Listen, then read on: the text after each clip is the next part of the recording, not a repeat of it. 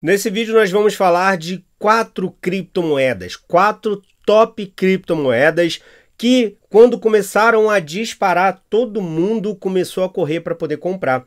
Mas elas vieram muito baratas ali desde outubro. Na verdade, o segundo semestre de 2023, em outubro, já era ali um ponto muito interessante para poder comprar essas criptomoedas, ainda mais por conta do projeto, da demanda e da utilidade que elas oferecem.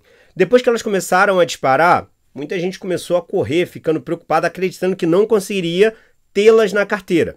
E agora eu vou te mostrar essas quatro criptomoedas, pontos bons de entrada por conta dessa correção que nós estamos vivenciando agora do Bitcoin, que não é uma correção tão absurda, mas está dando muita margem para poder comprar essas criptomoedas e até mesmo outras, né, com um bom desconto antes da grande próxima explosão que nós teremos agora, provavelmente se iniciando ali para o final do ano. A gente tem que acompanhar, mas já é ponto para quem quer acumular. E essas criptomoedas, para mim, eu acredito que ainda alcancem pelo menos mil por cento, 10 vezes. Um patrimônio sair, por exemplo, de mil se transformar em 10 mil.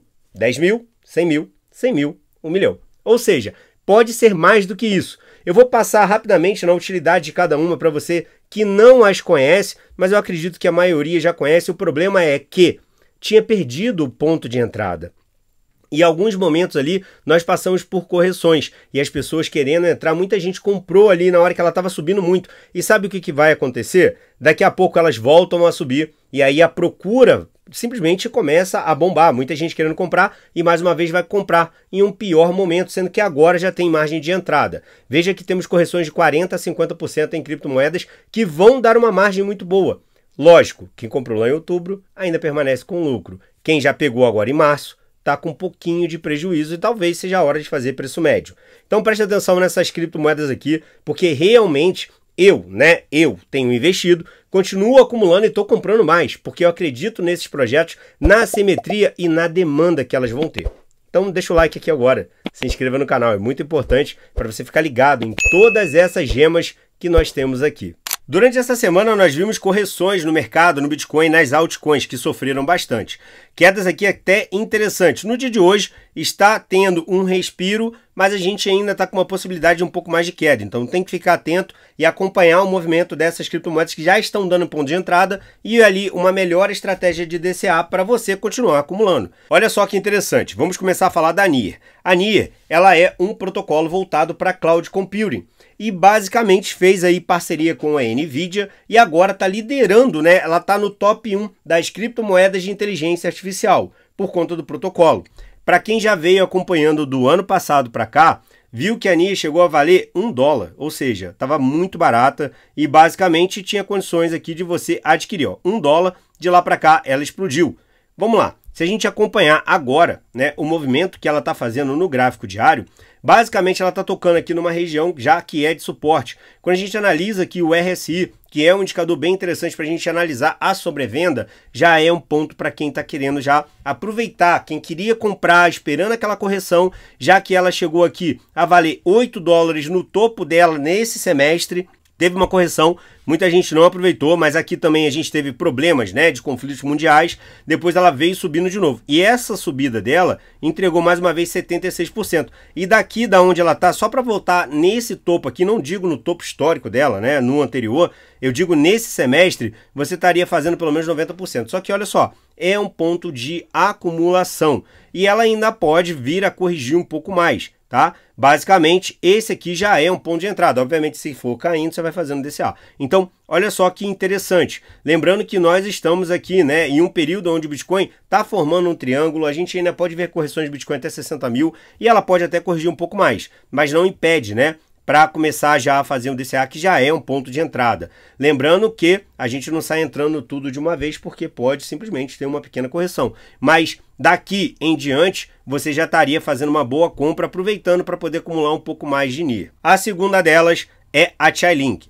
A Chailink também do ano passado para cá saiu dos 6 dólares quando muita gente não queria e chegou a alcançar aqui nesse ciclo já 22 dólares. Basicamente explodiu. E a Chainlink, ela é um oráculo que agora também está liderando o setor de RWA, que é Real World Asset, basicamente tokenização dos ativos do mundo real que a Chailink está tendo várias atualizações de um protocolo chamado CCIP, aonde vai fornecer informação e conexão até entre bancos. Já tem 10 bancos que já começaram um projeto piloto para fazer essa comunicação. Então, basicamente, esse protocolo aqui vai ser interoperável, fornecendo informação para todas as blockchains, se for o caso, até mesmo instituições bancárias. Não dá para dispensar a Chailink, que na minha concepção pode alcançar até mesmo, de repente, 300 dólares aí no pico do mercado. Veja bem, a NIR, eu já tinha feito um cálculo em torno de 50 dólares. Mas já que ela está liderando o setor de A, eu acho que a NIR pode chegar até 70 dólares, tá? Só para poder te lembrar aqui. Detalhe, a Chailink ainda tem condições também, tá dando uma ótima margem de entrada. Quando a gente analisa o gráfico diário da Chailink, que saiu daqui de baixo, teve uma explosão. É nesse momento aqui do ano passado até agora que muita gente ficou desesperada acreditando que não conseguiria comprar Tia Link de novo, alcançando 256%.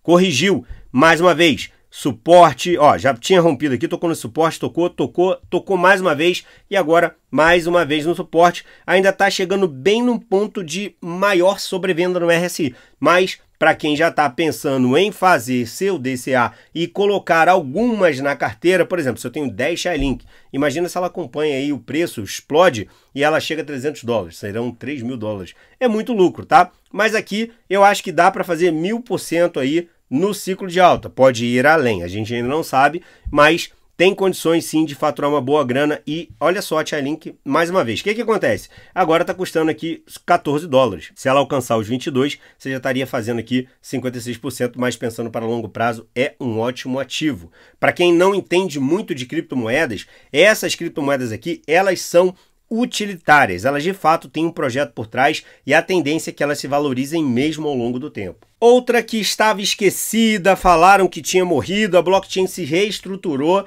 ela atinge altas velocidades, já colou perto do Ethereum em termos de capitalização de mercado. Tem muita coisa para acontecer dentro da Solana e é uma blockchain que acabou explodindo por conta de meme coins, saiu de 8 dólares quando ninguém queria e basicamente explodiu no final do ano passado até agora. Solana, na minha concepção, pode alcançar mil dólares ou mais. Lembre-se, quem tinha ela aqui nos 8 dólares, nos 10 dólares, chegou a fazer quase mil por cento certo? Por quê? Porque basicamente ela já chegou a bater aqui, ó, nesse ciclo agora, 100, 200 dólares, tá? 170 corrigiu 200 dólares aqui, ou seja, quem pegou lá nos 8 dólares, quando bateu 80 dólares foi 1000%. Quando bateu 160 dólares, foram 2 mil por cento na Solana. Quem pegou nos 10 dólares, quando chegou a 100, foi mil. Quando chegou a 200, 2 mil por cento. Ou seja, deu muito dinheiro. É óbvio, né, que agora a Solana acaba diminuindo a simetria, mas é um ótimo projeto para você manter na sua carteira para poder pensar no longo prazo, inclusive. Quando a gente analisa a Solana, o gráfico da Solana, ela está no mesmo padrão, bem semelhante, né? Ela veio lá de trás, lá de outubro, ela estava custando 20 dólares, em outubro 20 dólares.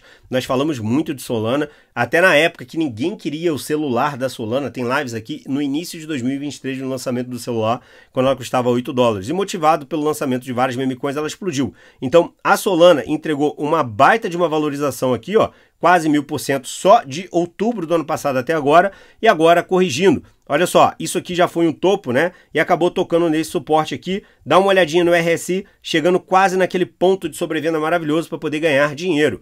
As médias estão começando a apontar para baixo, a gente tem que acompanhar um momento no mercado, mas para começar a fazer as suas entradas e armar suas posições, está no ótimo momento. Inclusive para você continuar fazendo seu DCA e fazer o seu preço médio, caso tenha comprado Solana nessa região aqui. Então, Solana é um ótimo ativo também que está num ponto de entrada maravilhoso. E agora, Torchain. Torchain também estava esquecida, ninguém queria Torchain. Ela chegou no ano passado a custar um dólar, tá? Nesse semestre, ela já chegou a 10 dólares, ou seja, já fizeram mil por cento. Alguém já fez mil por cento. Eu, inclusive, já venho falando dela.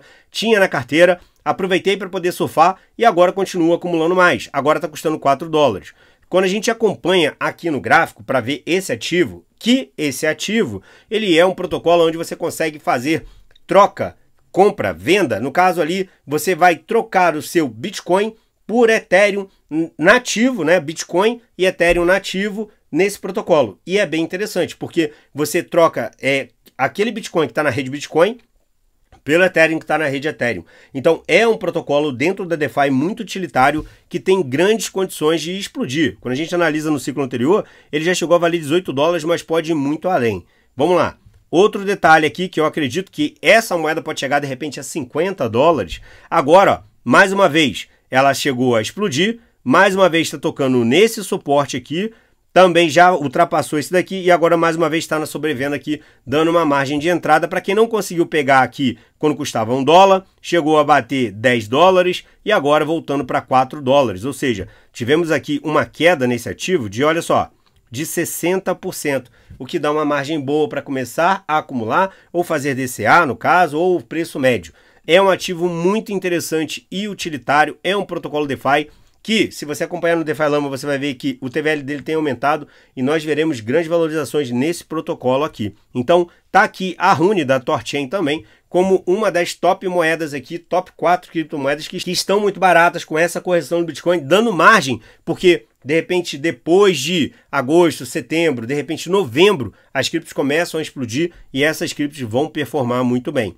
Se você quiser encontrar essas criptomoedas e muitas outras, você pode surfar aqui na Coinex, parceira do canal. O link para o seu cadastro fica bem aqui embaixo. Aqui tem várias moedas, inclusive muita listagem de moedas novas, moedas meme, que nesse caso aqui a gente está falando de moedas super utilitárias com alta demanda que vão explodir. Qual dessas criptomoedas aqui você já tinha e qual dessas você está querendo acumular? Porque agora é uma grande oportunidade. Moedas, na verdade, que podem explodir muito. Lógico, não vai explodir como uma moeda meme. Ah, quero fazer 50 vezes. Acredito que não. Mas é moeda, é criptomoeda utilitária que vai ter uma alta demanda, uma capitalização de mercado alta, trazendo boas valorizações. Então, dentro dos ativos de risco, a gente tem menor risco em ativos que têm ali uma alta demanda, são utilitários e provavelmente vão surfar o hype de alguma narrativa que, no caso, nós temos aqui inteligência artificial, RWA, temos uma blockchain de alta velocidade e performance e ainda por cima um utilitário, um protocolo utilitário dentro de uma DeFi. Bom, comenta aqui o que você está achando dessas criptomoedas e qual você também está acumulando para poder trazer aqui no canal. Olha só, deixa o like, se inscreva no canal, é muito importante. No dia 9 de julho eu vou fazer um aulão aqui, eu vou deixar bem aqui embaixo o link para você participar da comunidade, onde eu vou colocar as informações. Então dia 9 e dia 10 de julho vai ter um aulão aqui e a abertura das vagas da FPR. Te espero no próximo vídeo. Um abraço.